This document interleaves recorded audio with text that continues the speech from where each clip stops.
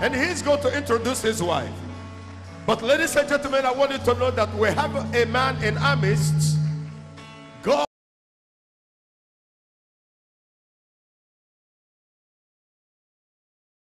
Glory to another. And today, Amen. Do me a favor, just four. One behind you, one in front of you, on your left, on your right. Shake somebody with a smile and tell that person, grace, grace, grace. More grace. More grace. More grace. More grace. Grace will salute you. Grace in the house. Grace in the office. Grace in traffic. Grace in the market.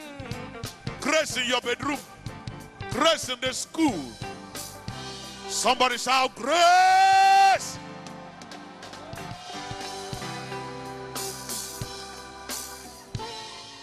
Now, I've discovered that the closer you are to a man that is carrying grace, the more the grace that rubs off on you.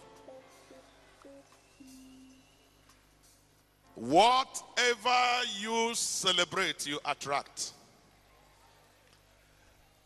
And thank God for the field marshal of grace that we have as a covering. Come on, let's celebrate Papa. And let's celebrate Mama.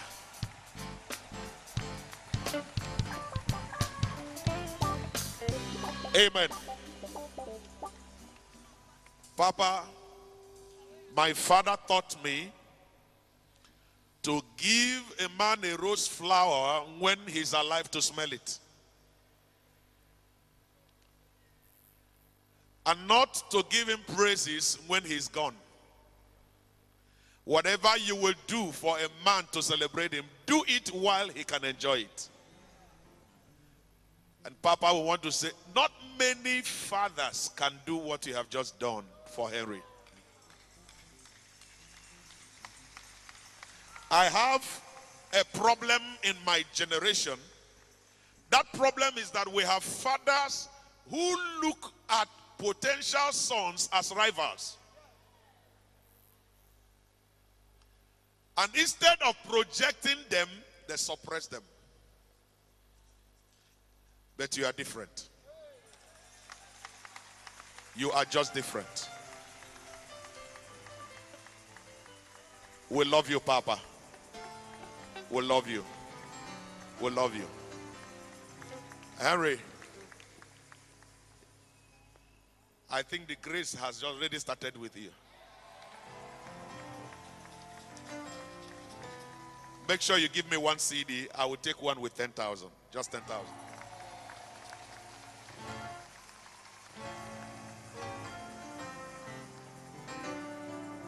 And I will say, whatever you have done to attract this, don't stop, increase it.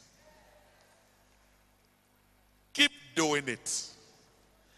And if you envy him, sorry. A whole lot of things has happened that I said in the first service. He has met the right man. He has received help for an assignment. He is placed at the right place. He is right here on time. And look at him attracting favor and kindness. God has already started answering your prayer. Everyone inside this church today, August will bring answers to your prayers. You will not struggle to succeed. You will not struggle to fulfill your assignment. God will send you help. God will send you help. Let me hear you shout, Grace! Oh my God. I celebrate you. I celebrate you. More so, I celebrate word of life. I celebrate having Papa as my Papa has done a lot of things to my CV. preaching in Word of Life has given me class.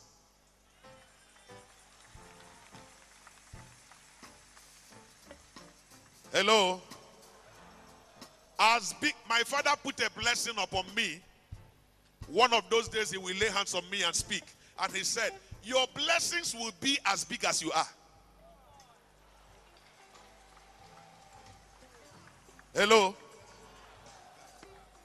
And that is what I carry. I am a double barrel, two generation pump action.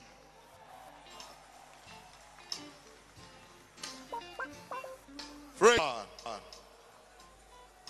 What a wonderful service. If you don't know how to laugh, you better go home today and start rehearsing because laughter is visiting you in this August. Laughter is visiting your house. Laughter is visiting your father. Laughter is visiting your mother. Laughter is visiting your children. Somebody's about to laugh and dance and jump and smile all at the same time. Let me hear you shout, Grace! Take up your Bible with me.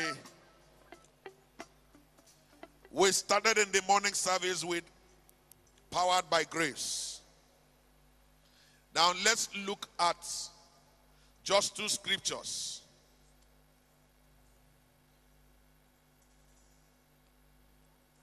Second Timothy chapter 2 verse 1. My brother, help me and read from the King James. Second Timothy chapter 2 verse 1. Paul was instructing Tim and he said something to him. Second Timothy Second chapter 2 verse 1. Yes. 2 verse 1. Thou therefore, my son, My son, specifically addressed to someone, not to everyone. be strong in the grace Be strong in the grace. that is in Christ Jesus. Oh my God. Be strong. If you will have strength anywhere, let it be in the grace that is in the Lord Jesus Christ. Now let's read Second Corinthians chapter 8 verse 7. Second Corinthians chapter 8 verse 7. Therefore, Therefore, as ye abound in everything, now take note of this. As ye abound, as you live, as you dwell, as you find yourself in everything in this life. in faith, Now look at the first one. In faith, in what you believe in your Christian life, he's saying, as long as faith is involved, as long as you believe God, and utterance, if you have anything that has to do with speaking, and knowledge, now take it easy, my brother. If you have anything to do with utterance, in speaking to your children, in speaking to your husband or wife, as a pastor, as a singer, as an instructor, as a lecturer, as a manager, if you have anything to do with speaking to somebody, that's the second one. And the third one is what? A knowledge, If you have anything to do with learning, whether you are collecting or distributing, if you have anything, if you are found in anywhere where knowledge is required, that is number three. Uh-huh. and in all diligence, In all diligence, in all hard work, in everything that requires you to use your energy to do. That's number four. Uh-huh. and in your love to us, in your relationships, in everything that has to do with communication with another, whether husband or wife and wife, or parents and children, or brother and sister, or neighbors, or workers and their manager, or pastor and members, if you have anything to do with relationship, yes, see that you are bound in this. ah, see now, easy, see, be careful to note, see, behold, make sure, make sure that ye abound. Make sure Abound means to be in excess. Overflow. You have more than sufficient. Make sure in all you do, you abound in this grace also. That is to say that a man can be involved in things and yet grace is not there. Make sure that you abound in this grace also. Lift up your two hands to the Lord this morning. Make just one prayer. Lord, may your grace be upon me. I give you one minute to pray that prayer. God, In the name of Jesus, may your grace be be upon upon me me, O God. In everything. In everything, O God. Open your mouth. It's simple, but it's powerful. Abound in grace in the ministry. Grace will overrule your labor. Grace, oh God, in my Will overrule your mistakes. Oh God, Grace will teach you what you do not know. Oh God, even Lord, in my business, in the name of Jesus, let grace overwhelm me. Let grace, oh God, abound in every areas of my life. Lord, we thank you. In the name of Jesus. We give you praise. Hallelujah. Blessed be your name Thank you, Lord. as you make us better than what we are. In the name of Jesus, we pray. Amen. You can say better, Amen. Amen. Kindly take your seat as I address what I call destroyers of grace. Today, across our nation, we have people that are running after miracles and not after the God of miracles. We have people that are moving around and running after men, but please run after the word of God.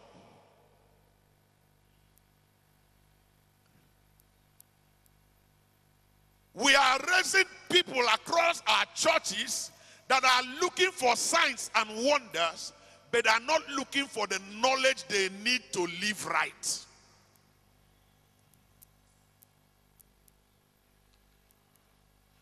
It's one thing for you to get grace, it's another thing for you to keep it, and it's another thing for you to use it.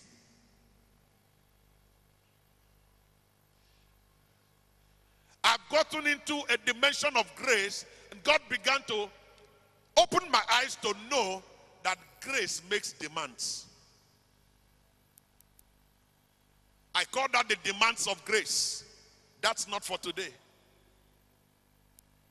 I have also come to know that grace can be activated. It can be provoked to begin to do things. It's been there, but it's not been working. But you can make it work. Activating grace. That's another dimension. But this day, let's deal with the destroyers of grace so that you can understand that there are things in your life that you need to watch out for. Number one is pride. Pride. Do you know that every blessing is a gateway to pride? Every blessing attracts pride. And you have to be careful to remain humble in the place of your blessing. Anything can make you proud. A new Blackberry can make you begin to answer call in church so that people can see it. And when you come out, you want to show it to people, and you are looking at the one there, you are looking for those that have 3310. And you want to say, Are you still using this phone? Even when there's no call, you bring it out so that people will see what you have in your hand.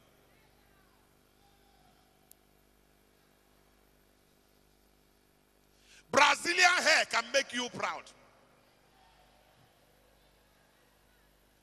And that is why you stay one place, you won't keep your head one place. You'll be shaking it like Agamaliza.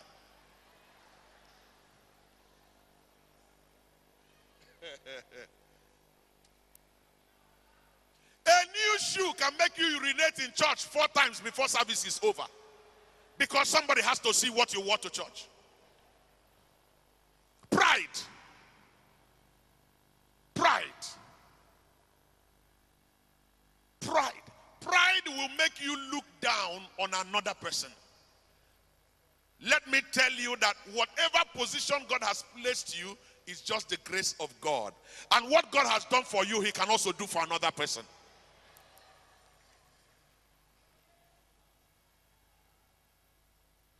Have you ever seen a sister that got admission into the university and went to school and came back after the first semester?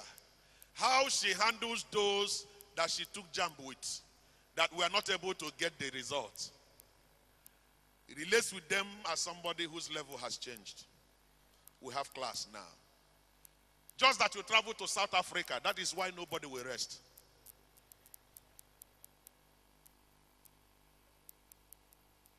Some of us, Pastor, just one miracle God performs, nobody will hear again. You now become the Alpha and the Omega. Hear me today. Anything you have in life is a gift. For every good and perfect gift comes from above. The problem is not being blessed. The problem is, will you still be the same person when you are blessed? Will you still be doing that same assignment for God when He increases your level? You still be in church and handle your responsibility and keep your protocols outside when God positions you there? That is the problem we have. I don't know about the Niger Delta, but where I come from in the south, when a man makes little million, he becomes a god. He doesn't listen to anybody. No priest can stay over him. He gives a priest money, he determines what it is used for. Oh my God. Pride. But do you know what happens? There are people who should be blessed. But God decides to leave them where they are because if they get that blessing, they will take the position of God. The Bible says, He will lift the humble, but He will do what? Resist the proud. Take note. Lifting and resistance require energy. Now, what it means is that, sorry, sir, just sit down, is that he needs to rise. And when he rises, there's a shining. Arise and shine. Arise means get up, it means change your position, it means do something. Now, he needs to rise, but then for him to rise, he still requires energy. But when he's lifted, his energy is not required. Are you following what I'm saying? Now, if I have to lift him to rise, it's easy and faster without more struggle. And then he will shine. Now, sit down. But because he, he comes to this level where he's asking God to put him, pride will come in. And instead of going to that there, the same energy that God would have used to raise him, he will use it to resist him. Now rise.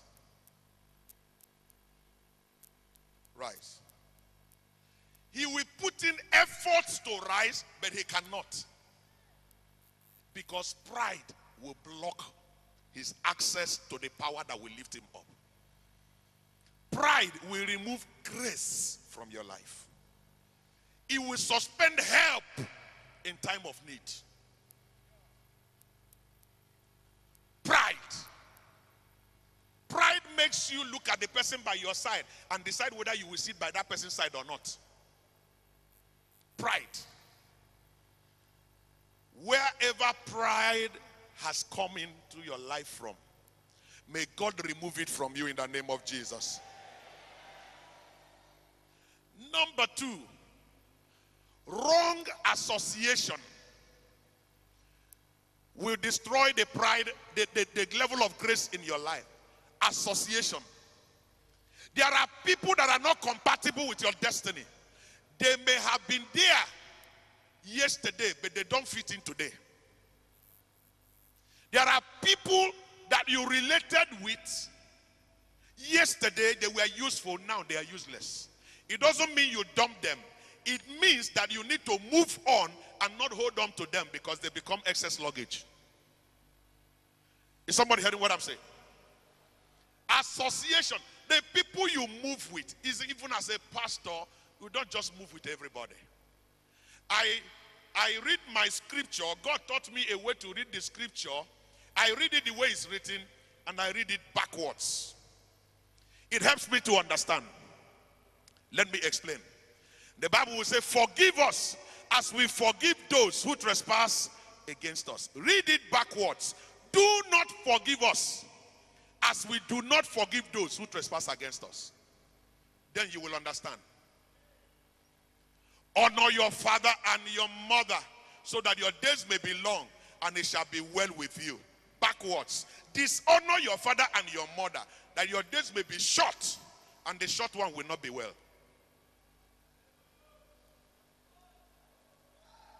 Now, Psalm 1, verse 1 says, Blessed is he that walketh not in the counsel of the ungodly, or seated in the seat of the scornful, or walketh in the way of sinners. Backwards, cursed is he that walketh in the counsel of the ungodly, or seated in the seat of the scornful, or walketh in the way of sinners. That tells you that there are people that are cursed just by the reason of association. Am I talking to somebody today? There are people you don't go and sit down with. You wave to them and go. They visit you. You tell them, I'm going somewhere so that they don't sit down. Eagles don't come to banquet with chickens. For God's sake, you are an eagle. You are an eagle. The only one that can fly and look at the sun. You are an eagle.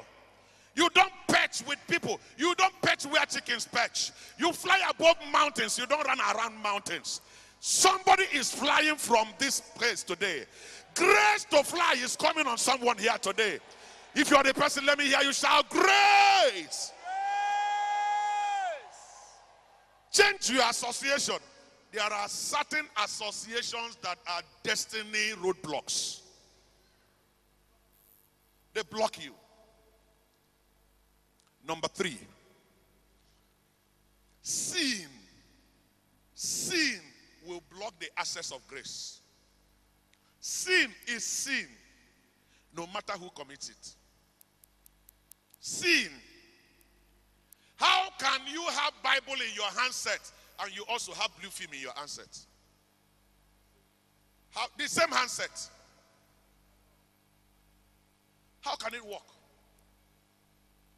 The same handset you are reading Bible. And you go back home in your privacy, the same handset, you open your media and you're watching blue film. If you were God, what will you do? See, It's not about who you are in church, it's about who you are where nobody sees you.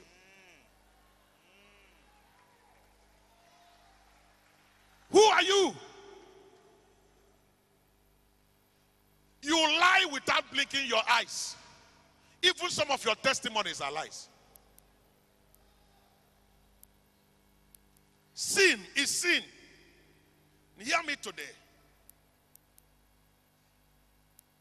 Sin is not just about the things you have done, it's about the things you are supposed to do, which you refused to do. It's about the instructions from God which you are supposed to perform and you did not perform it. It's not just about what you have done, it's about the things you are supposed to have done. And the Spirit of God said, Do this, do that, please do this, do that, and you ignored it. Sin. Sin.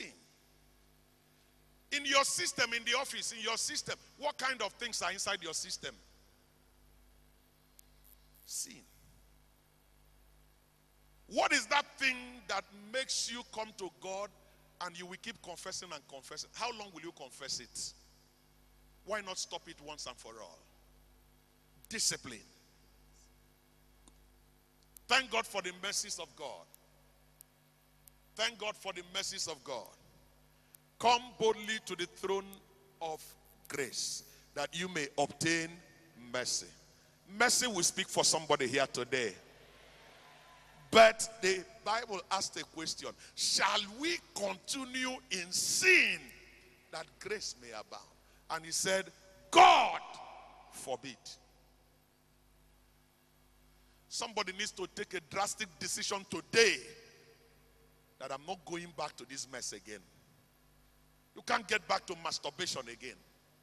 You can't get back to pornography again. You can't get back to cultism again. Yeah, now listen to me. If they told you you will die, your life is nobody's hands. Come out from there, nobody will touch your life. Let that fear leave you today that if you leave that court, they will kill you. No man has the power to take your life. For when you run into Christ, you are safe. For he that dwelleth in the secret place of the Most High shall abide under the shadow of the Almighty. For in him we live, in him we move, in him we have our being. You have to deal with God before you deal with me. Come out of that court.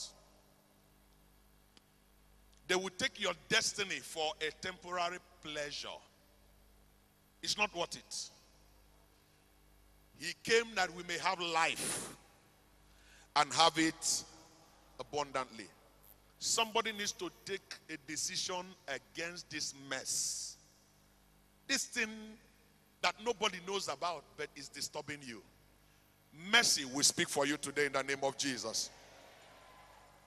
Number four, rebellion to spiritual authority will destroy grace. Rebellion or dishonor to spiritual authority. Last year, when we were here, I heard Dr. Mike Murdock say something. He said, When you honor a man, God will lift you. He said, The honor you give to a man attracts the grace of that man upon you.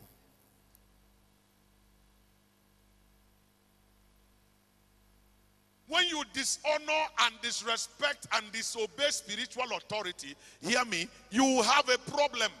There are four classes of spiritual authority. One is priesthood, the other one is your husband, the other one is your parents, and the other one is your community or social leader. If you belong to protocol, there's a head of protocol who represents the authority. Disobedience to him is disobedience to spiritual authority, and the level of grace will terminate from your life. Is somebody hearing what I'm saying? In the ushering department, there's a head, there's a chief usher, there's the person in charge. That person represents Papa. Dishonor to that person's instruction is dishonor to Papa. We need to learn discipleship. Somebody must be a covering. You must be accountable to someone.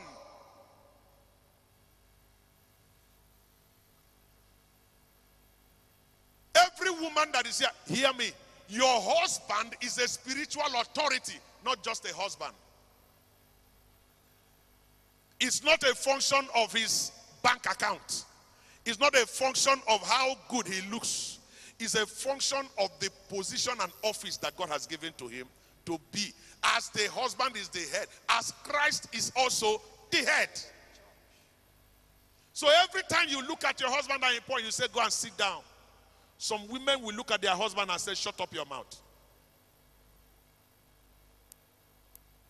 You are signing a contract with disgrace. And that is why arthritis and rheumatism will visit you.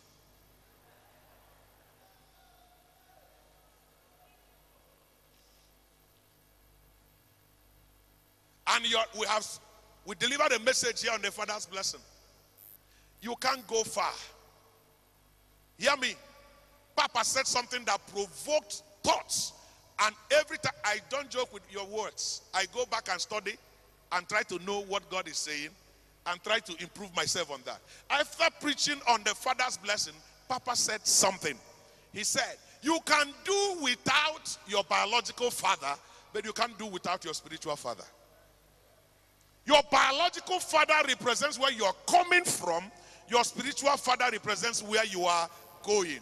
And then I discovered that in the Bible. Ephesians chapter 6, read verse 1. I show you something.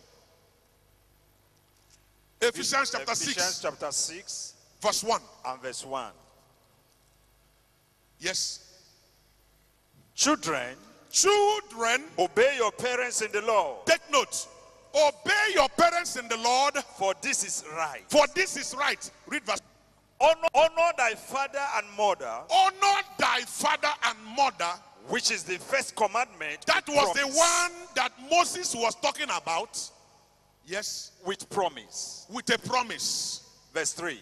Yes. That it may be well with thee, That it may be well with thee. and thou mayest live long. You on may the earth. live long on earth. The first instruction is obey your parents in the Lord. It's not talking about your biological parents, it's talking about the people that instruct you in God. Your spiritual covering, your spiritual mentor.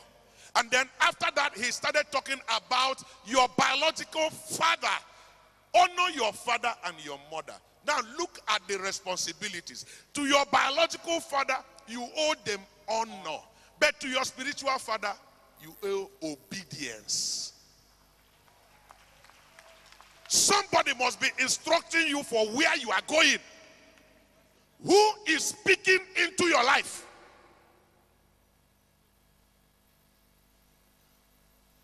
Fathers have immunity. If you are a young person here and you're complaining about your father, listen, receive understanding. Read verse 4. I show you something. And ye fathers, Ye fathers, provoke not your children to provoke wrath, not, not your children unto wrath.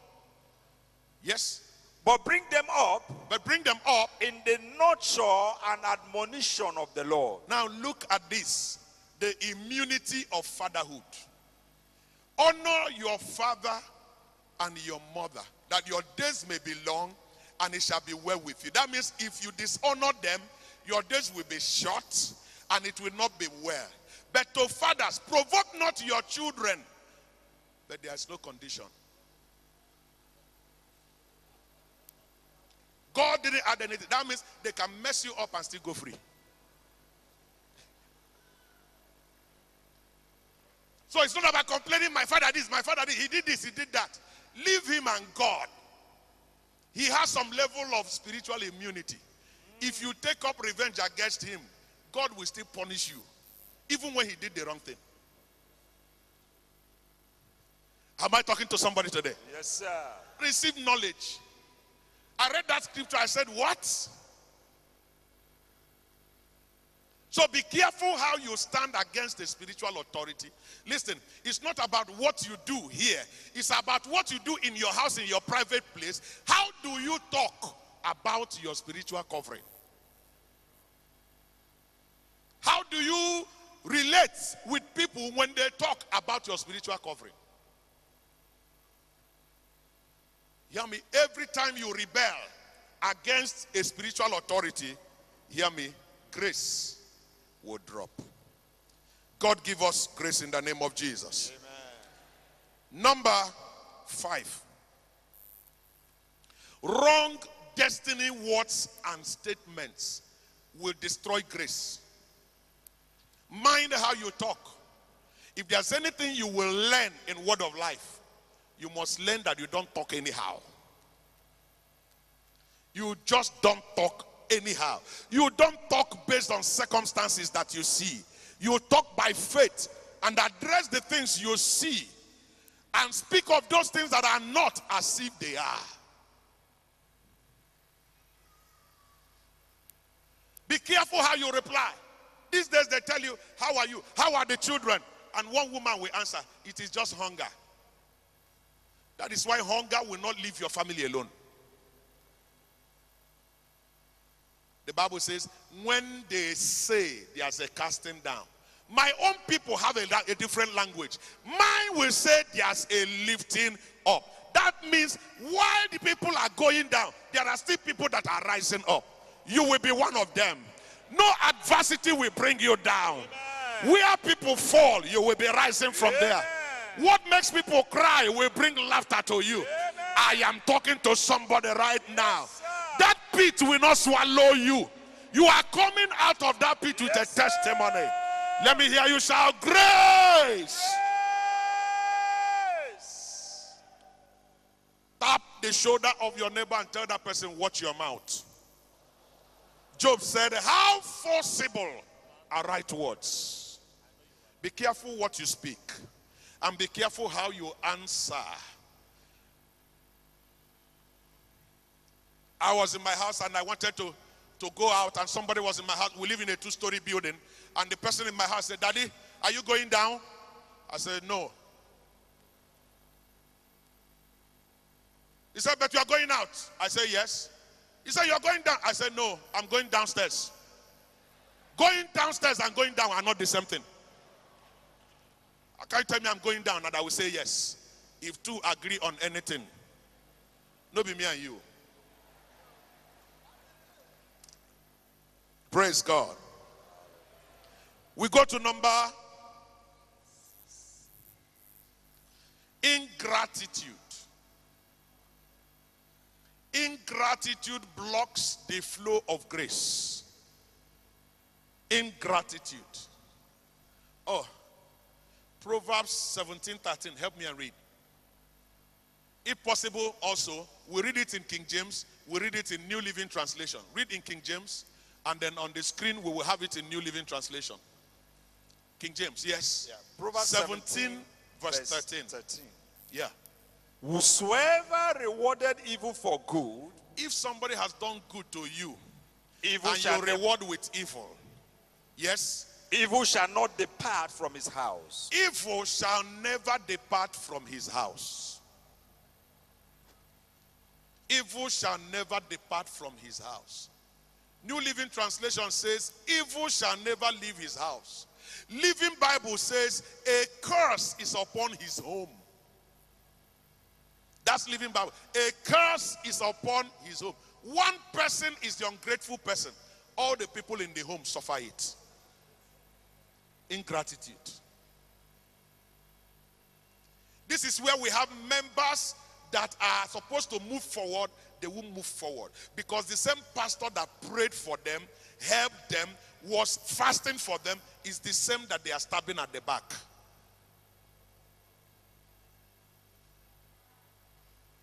The same person that housed you, clothed you, after some years you have become a man of your own, is the same person you are fighting.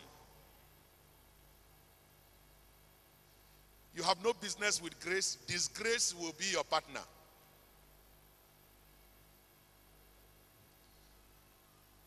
Sometimes some of us, Papa taught me something. I don't know if you will remember. Several years ago, because I have the habit of coming to you and ask questions and study. And I asked, What do you do about places you go to and you minister to people with your heart, and when you're going, they leave you empty? Some of them will swindle you. Some of them will tell you stories and they can't appreciate you. What do you do? Papa told me, he said, Every man of God must fight a bat- battle of bitterness. Those you work for and they do not appreciate what you have done. He said, God takes you some places to work and takes you to another place to pay you.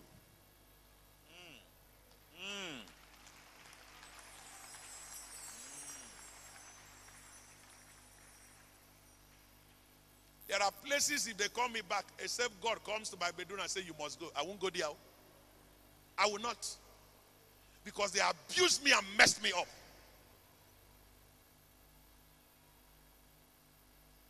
There was one I went to in Jos. Papa, they gave me honorarium.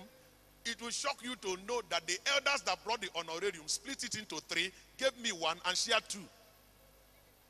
If not that I call the man of God and say, I will not leave your church with grief.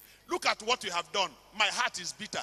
Please, I will not reject it, but what you have done is not good. Then he said, What happened? That was how it was discovered. Because naturally, I would have taken it and I will go, and nobody will ask questions. And they are supposed to be elders. Those of you that handle church money when nobody is there, be very careful. One day, monkey go go market, you know go return.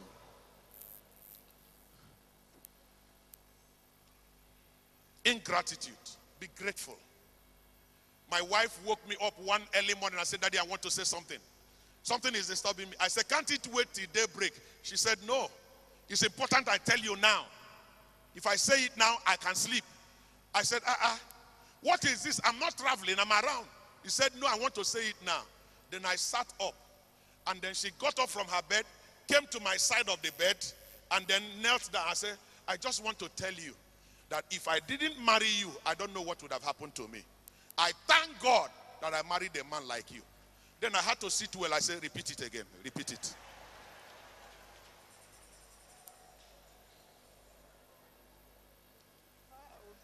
No matter how bad you think your husband is, there is something good about him that has benefited you. That is it. That is it. No matter how bad you think, if you think you married the worst woman, hey, may God not give you the opportunity to go to another. Then you will understand that you married an angel. As you see them, sometimes their mouth no good, but their heart is good. But change your mouth. Praise God. I believe I'm talking to somebody today. Number number 7 unfulfilled and broken vows will terminate grace. Unfulfilled and broken vows. If you make God a promise, keep it. Right here this morning, you saw Papa talking to doctor and he was writing a check. And the doctor said, no, it is what I vowed last week. That is principle. That is integrity. If you think nobody knows, God does not forget. He said, Don't tell an angel it was a mistake. Ecclesiastes chapter 5, from verse 4 to 6. When you make a vow, keep it, for God is not interested in fools. Pay your vow and do not tell the temple messenger it was a mistake, or God will turn his back on the works of your hands.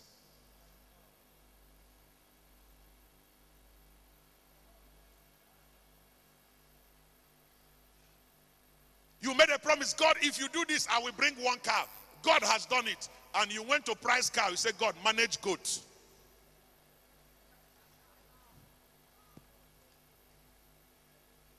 God has done it and you forgot. You can't go to a shrine and make a vow and forget. Disaster will remind you. This place is bigger than any shrine. Don't mess around with the vows you make here. Even the ones that nobody recorded. Angels have recorded them. Is somebody hearing what I'm saying? Some of us, the grace is there, but to manifest it, these things have blocked it. God will give you grace in the name of Jesus. Number, number eight, ancestral covenants and demonic manipulations can block the access of grace. Ancestral covenants and demonic manipulations. They can do things, they can mess around, they can they can do things. That's why you need a spiritual covering. That's why you need to do things that can help you and you can stand. Like we said yesterday, Eliezer prayed, Oh God of my master Abraham, because he was located under a man with a covenant. Listen to me. Your biological family may be polluted, but your spiritual family can secure your destiny. Your spiritual family can bring you to a place where your biological family cannot take you to. That's why you don't joke with church. You don't joke with fellowship. We don't, you don't joke with the people God has placed over you. Is somebody hearing what I'm saying? a sister in Enugu working in a car manufacturing company. Suddenly, her Oga wanted to become the general manager because the tenure of the general manager had expired. They knew the new general manager. And this lady was working under one of the directors. And the man came and decided to get into a cult because he must become the general manager by all means. To a point that this man will come to his office and knock on his own door, make incantations, open the door, and he will enter with his back. And one morning he came and told our sister and said, You need to resign or I give you a sack letter. Take one. You can't be praying in this office. You need to get out so that I can get those that will work with me. The sister came back and told the husband. The husband ran to my office and said, Daddy, look at what is happening. They want to sack my wife. And the husband said, If my wife loses her job, my children will stop school. It is her salary that pays the school fees. And I told him, I said, Bring the name of that man. Let's go to the court of heaven for three nights. You say he entered court and he goes into his office with back. I said, No problem. Let's go to the court of heaven for three nights and plead our case. Three nights we fasted and prayed. The first night, the second night, the third night, the Spirit of God came down in prophecy and asked us three questions. Number one, do you not know that his confidence is in the oracle that he has visited? And when men go to oracles, they get bold. Number two, the question came Do you not know that it takes an oracle to destroy an oracle? And then number three, he asked, What have I made you? Are you not my oracle? Go and deal with it. The battle is already won. Listen, it's not about what you are doing, it's about what Jesus has already done. That is what grace is all about. You don't need extra, He has already secured it. I told the sister, enough of the prayers. Tomorrow I'm coming to your office. She said, For what? I said, We need to meet ourselves. Nine in the morning I came, they said the man is not there. I left. I said, when he comes, call me. Ten, one hour later he came. And he entered the normal way. And when I came back, I told this sister, go and tell your Oga that one man wants to see him. Don't call my name. She went in and told the Oga. Oga said, give him paper. Let him feel and say why he wants to see me. The sister came out with paper and gave to me. He said, Daddy, please. He said you should feel paper. I said, shut up. Oracle, they fill paper for your village. I said, go and tell your Oga, tell him one man wants to see him. She went back and told the man. The man became angry. He was shouting from the office. Who is that stupid man? I mean, they call stupid. Go and call him. Let him come in. Let me see him. Because his heart is in the oracle he has gone to. And the sister came out shaking. He said, Daddy, please, you can go in. I said, Sit down. She sat down. I knocked on the man's door. As I was knocking, I started my own incantation. I knocked on the door. The man said, Come in. Come in. You can sense the anger. I opened his door and I entered with my back. They say he enters with back. I turned and faced the man. The man stood up. He said, Who are you? I said, Shut up. Sit down. He was looking at me. I said, Will you sit down? The man sat down. Fear was all over him. I said, Your secretary is under my covering. If you touch her, you will die. He was looking at me. I said, Do you hear me? If you touch her, you will die. He, he didn't say a word. I opened the door, Papa. I left with my back. Two weeks later, the man lost his job. Who will say it and it will come to pass? When Jehovah has not spoken, a thousand will fall on your left side, ten thousand will fall on your right side.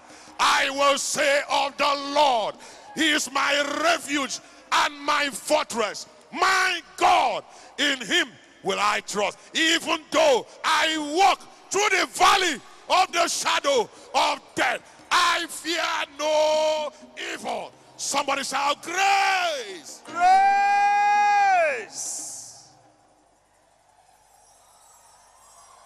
I don't care the conglomeration of witchcraft. Hear me. His name is called Emmanuel, God with us. Everyone who has decided to be an obstacle, grace will make him a stepping stone. Amen. Sit down, let's round this thing up. Let me just take one more. Destroyers of grace. Absence from a place of responsibility. When you absent yourself from your place of responsibility, you have resigned from the grace for that assignment. Don't leave your position because nobody appreciated your effort. One day God will show you. You are not in church to serve man. He said, Be steadfast, immovable, always abounding in the work of the Lord. For as much as you know that your labor is not in vain. For they that come to him must believe that he is, and he is a rewarder of them that diligently seek him. There's a reward. Let no man pay you. A man will pay you by his abilities. Let God pay you. When God pays, he pays in arrears. Don't leave your place of assignment because somebody is envious of you. Don't leave your place of assignment because somebody gossiped with your name. Don't leave your place of assignment because somebody did not appreciate what you are doing. Your master who called you is taking records, and one day he will pay. Let's bow down our heads in prayer. Mayando sharada bayande. Lozinga hate sepotoya.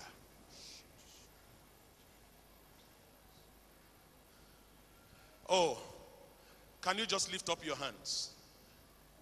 Open your eyes, lift up your head. Lift your head, open your eyes, look at me. This was not in my note, but God just dropped it in my spirit and let me say it. He said that disobedience to spiritual instruction will block grace. The one I mentioned was spiritual authority. But there are instructions that God gives to you in your private place. As you sit down here, there are instructions that God tells you do this, do that. Papa was saying, give to this young man, encourage him. But where you are sitting down, the Spirit of God tells you there is something else you need to do for him. Do it. God speaks to you where nobody hears. And remember, he will only speak two times and leave you to make up your mind. He will not nag you. God wakes you up in the night and say, this week, go on midnight prayers. God tells you, in let God arise, position yourself to take care of the logistics for this man of God. Bless this man.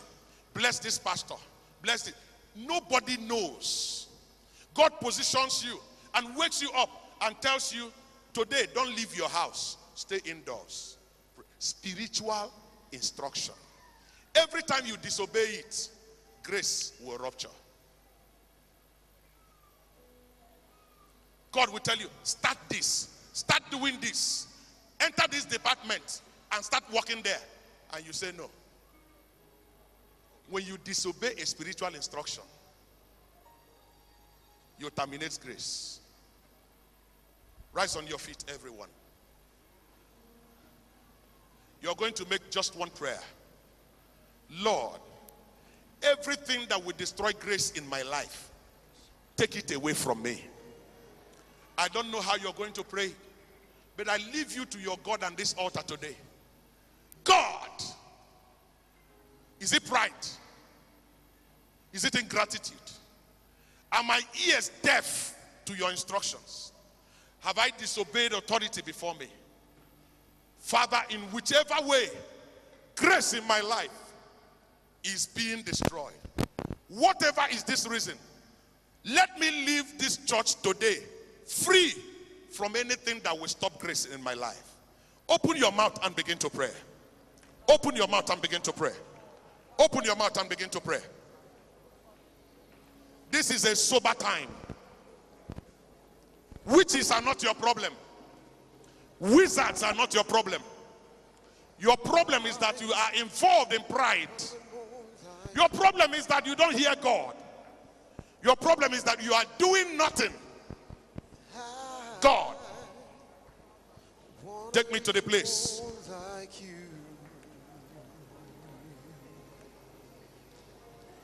I wanna be a vessel you can use. Open your mouth and pray. If you must get anything, get grace. Get grace. Get grace. Draw me close to you. Sing it. Sing it. Sing it. Never let me go. At a time in your life, you saw grace. But now, what is happening to you? Something is wrong. You can't attract the favor you used to attract. Something is wrong. Touch me one more time, oh God. Hear say that I'm there. You're my say. My desire. I just wanna be more like you. Jesus. No one else can do. Oh my God. God. No one else can take your place. Give yourselves and love.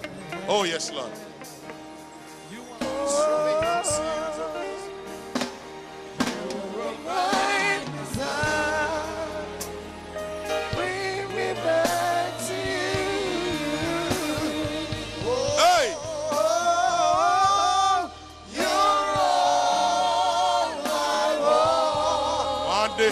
He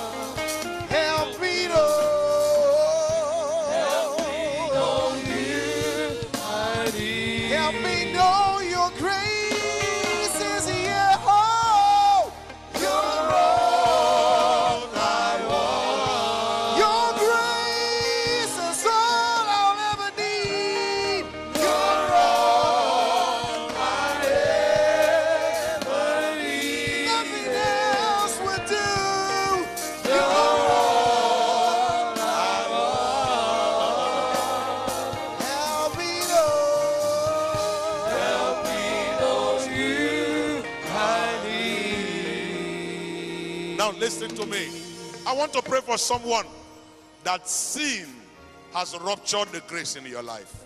You know it. Sin is sin. You know. You are not where you should be because of this thing that keeps dropping you back. And today you want to say, Reverend Don, pray for me. I need to overcome this besetting sin. I can be better than what I am, but something keeps pulling me back. And you want to say, Today I take a decision to come in contact with that grace and I must move forward. If you are like that, can you take a step forward to this altar? God is about to do something. Come boldly to the throne of grace. Tell the person by your side, excuse me. Let him give you chance. Just take a step. Take a step. Move forward to the front here. God is about to release something into your life. Come on, come on, come on. Go ahead with that song. Go ahead with that song. Keep coming, keep coming. Mahando Shadarabayanda. Therefore, Therefore, as ye abound in everything, now take note of this.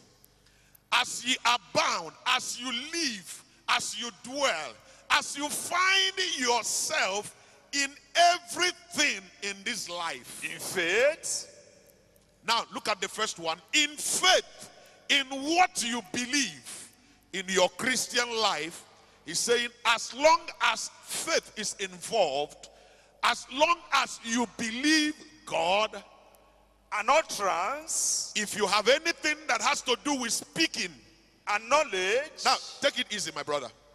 If you have anything to do with utterance, in speaking to your children, in speaking to your husband or wife, as a pastor, as a singer, as an instructor, as a lecturer, as a manager, if you have anything to do with speaking to somebody, that's the second one. And the third one is what? A knowledge, If you have anything to do with learning, whether you are collecting or distributing, if you have anything, if you are found in anywhere where knowledge is required, that is number three. Uh-huh. and in all diligence, In all diligence, in all hard work, in everything that requires you to use your energy to do. That's number four. Uh-huh. and in your love to us, in your relationships, in everything that has to do with communication with another, whether husband or wife and wife, or parents and children, or brother and sister, or neighbors, or workers and their manager, or pastor and members, if you have anything to do with relationship, yes, see that you are bound in this. ah, see now, also. easy, see, be careful to note, see, behold, make sure, make sure that ye abound. Make sure abound means to be in excess, overflow. You have more than sufficient. Make sure in all you do, you abound in this grace also. That is to say that a man can be involved in things and yet grace is not there. Make sure that you abound in this grace also. Lift up your two hands to the Lord this morning. Make just one prayer. Lord, may your grace be upon me. I give you one minute to pray that prayer. God, In the name of Jesus, may your grace be be upon upon me me, O God. In everything. In everything, O God, Open your mouth. It's simple, but it's powerful. Grace in the ministry. Grace will overrule your labor. Grace, oh God, in my Will overrule your mistakes. Oh God, Grace will teach you what you do not know. Oh God, even Lord, in my business, in the name of Jesus, let grace overwhelm me. Let grace, oh God, abound in every areas of my life. Lord, we thank you. In the name of Jesus. We give you praise. Hallelujah. Blessed be your name Thank you, Lord. as you make us better than what we are. And he's going to introduce his wife. But, ladies and gentlemen, I want you to know that we have a man in our midst. God.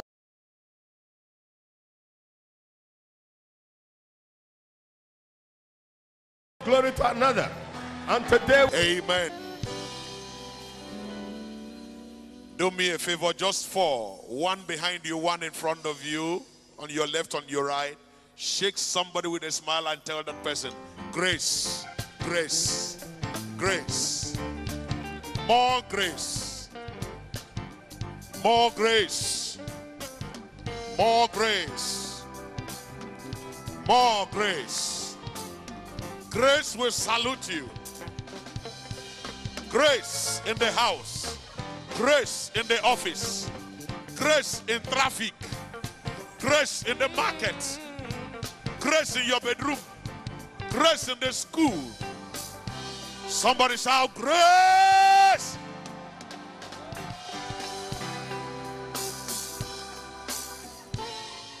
Now, I've discovered that the closer you are to a man that is carrying grace, the more the grace that rubs off on you. Whatever you celebrate, you attract. And thank God for the field marshal of grace that we have as a covering. Come on, let's celebrate Papa. And let's celebrate Mama.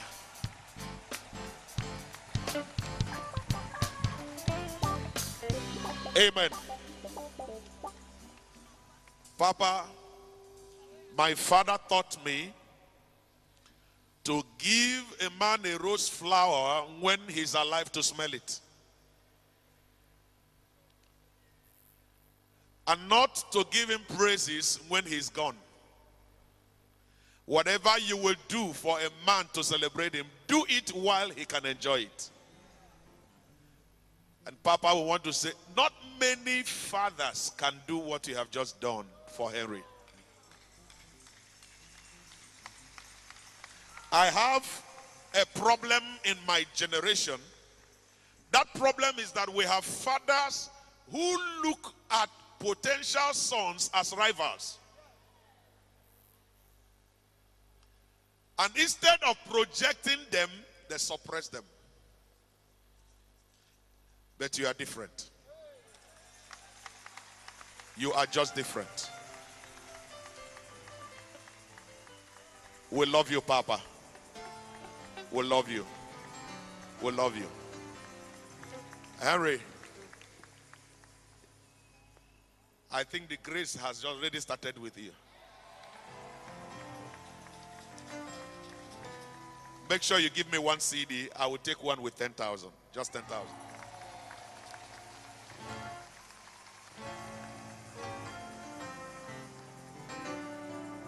And I will say, whatever you have done to attract this, don't stop, increase it. Keep doing it. And if you envy him, sorry. A whole lot of things has happened that I said in the first service. He has met the right man. He has received help for an assignment. He is placed at the right place. He is right here on time. And look at him attracting favor and kindness. God has already started answering your prayer. Everyone inside this church today, August will bring answers to your prayers. You will not struggle to succeed. You will not struggle to fulfill your assignment. God will send you help. God will send you help. Let me hear you shout, Grace! Oh my God. I celebrate you. I celebrate you. More so, I celebrate word of life. I celebrate having Papa as my Papa has done a lot of things to my CV. Preaching in word of life has given me class.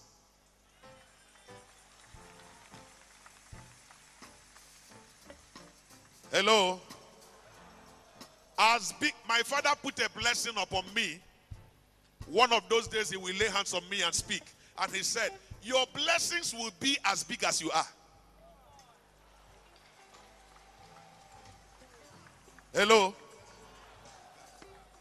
And that is what I carry. I am a double barrel, two generation pump action.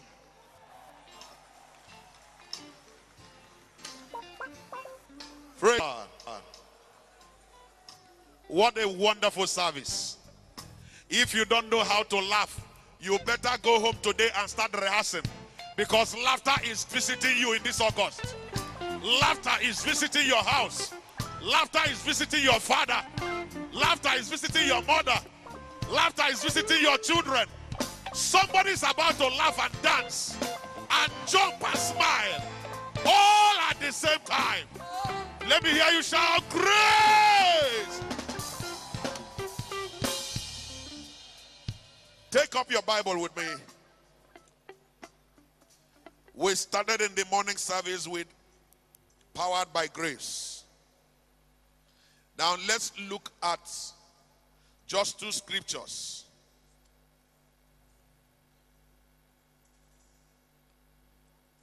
Second Timothy chapter 2 verse 1. My brother, help me and read from the King James. Second Timothy chapter 2 verse 1. Paul was instructing Tim and he said something to him. Second Timothy Second chapter 2 verse 1. Yes. 2 verse 1.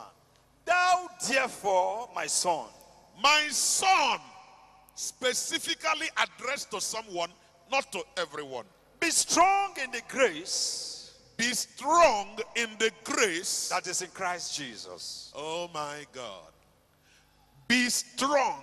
If you will have strength anywhere, let it be in the grace that is in the Lord Jesus Christ. Now let's read Second Corinthians chapter 8 verse 7. Second Corinthians chapter 8 verse 7. Let me tell you that whatever position God has placed you is just the grace of God. And what God has done for you, He can also do for another person.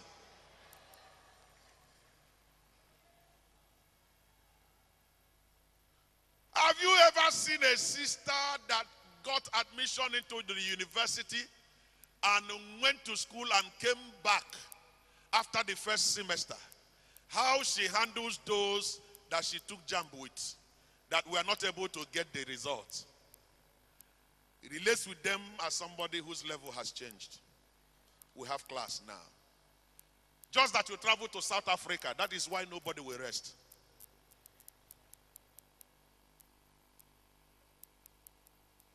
Some of us, Pastor, just one miracle God performs, nobody will hear again. You now become the Alpha and the Omega. Hear me today. Anything you have in life is a gift. For every good and perfect gift comes from above. The problem is not being blessed. The problem is, will you still be the same person when you are blessed? Will you still be doing that same assignment for God when He increases your level?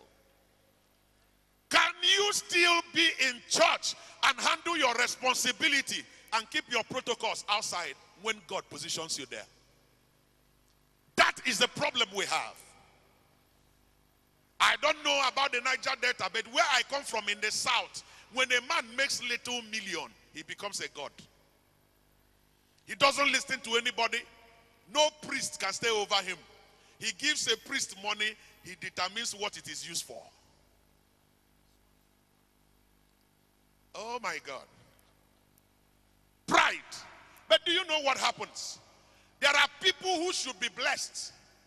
But God decides to leave them where they are because if they get that blessing, they will take the position of God. The Bible says he will lift the humble, but he will do what? Resist the proud. Take note. Lifting and resistance require energy. Now, what it means is that, sorry, sir, just sit down.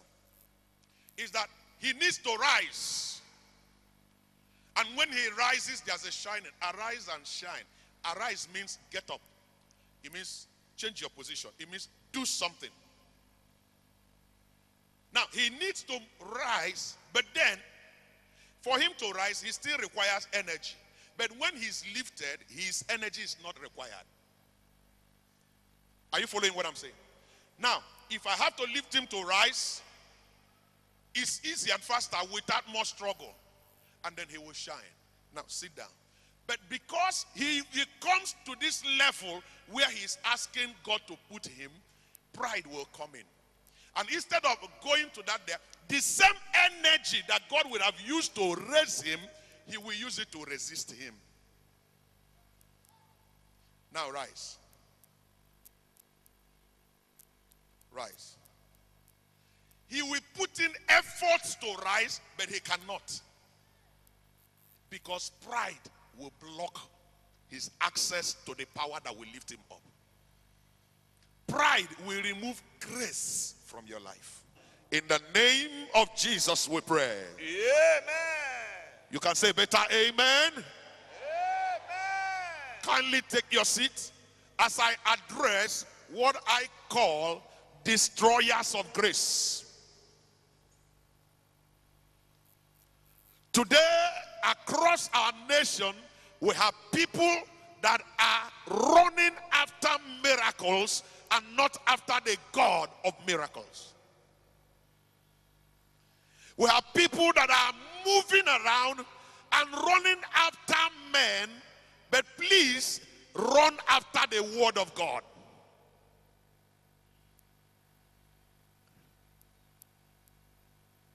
We are raising people across our churches that are looking for signs and wonders, but are not looking for the knowledge they need to live right.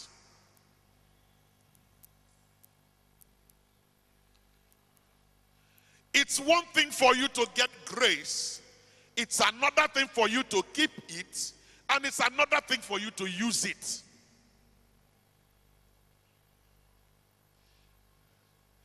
I've gotten into a dimension of grace, and God began to open my eyes to know that grace makes demands. I call that the demands of grace. That's not for today. I have also come to know that grace can be activated. It can be provoked to begin to do things. It's been there, but it's not been working. But you can make it work. Activating grace. That's another dimension. But this day, let's deal with the destroyers of grace so that you can understand that there are things in your life that you need to watch out for. Number one is pride. Pride. Do you know that every blessing is a gateway to pride? Every blessing attracts pride. And you have to be careful to remain humble in the place of your blessing. Anything can make you proud. A new Blackberry can make you begin to answer call in church so that people can see it. And when you come out, you want to show it to people, and you are looking at the one there, you are looking for those that have 3310. And you want to say, Are you still using this phone? Even when there's no call, you bring it out so that people will see what you have in your hand.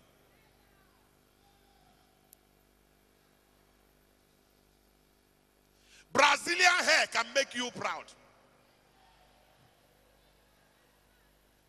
And that is why you stay one place, you won't keep your head one place. You'll be shaking it like Agama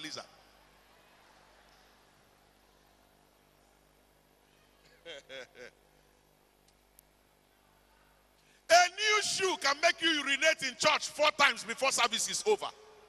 Because somebody has to see what you wore to church. Pride. Pride. Pride. Pride will make you look down on another person.